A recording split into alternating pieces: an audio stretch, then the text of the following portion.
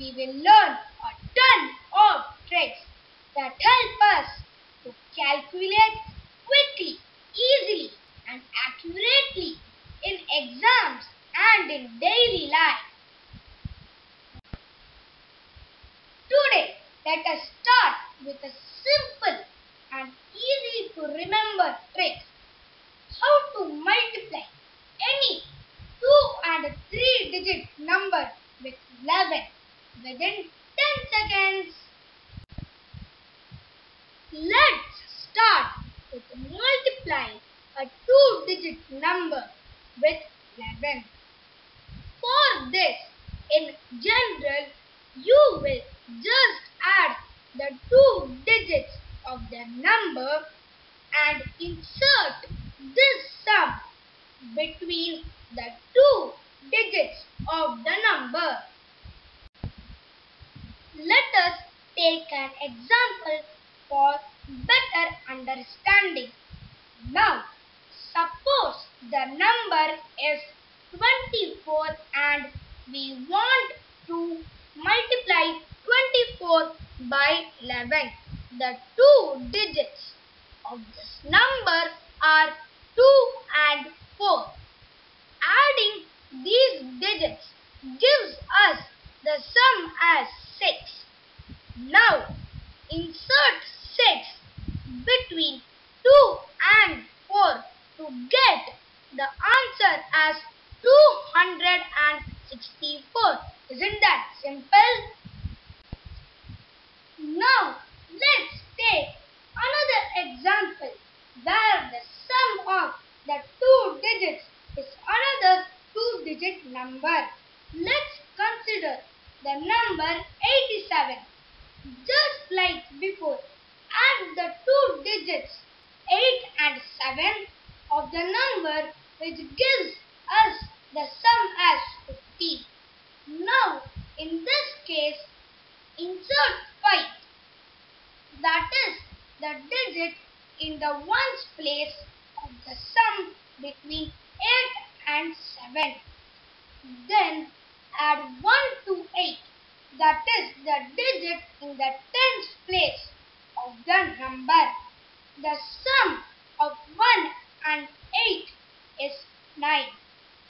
So, 87 into 11 is equals to 957. Hope you are clear so far. Alright, now let's learn how to multiply a three digit number with 11. For this, add together the digits in the hundreds and tens places and the digits in the tens and the ones places of the number. Insert the two sums between the digits in the ones and hundreds places of the number. Here is an example for better understanding. Consider the number 340. Moving from right to left, the three digits of this number are 4, 1 and 3. Now add 4 and 1 which gives the sum as 5.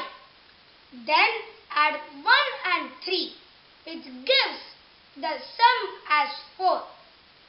Again moving from right to left, insert 5 and 4 between 3 and 4.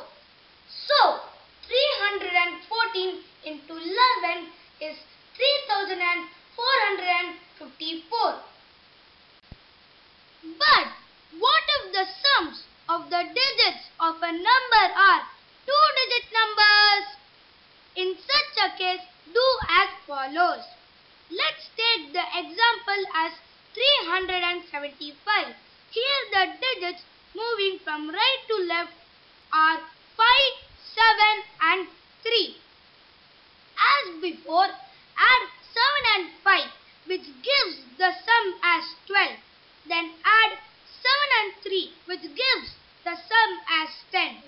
Now insert the digits in the ones place of 12 and 10 between 3 and 5 will now appear as 3025. Then add the digit 1 from 12 to 0 and the digit 1 from 10 to 3 in the number 3025.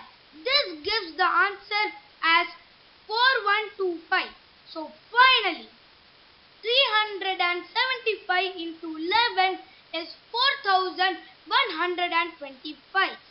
You can also use this trick even to multiply numbers with 4 and more digits by 11.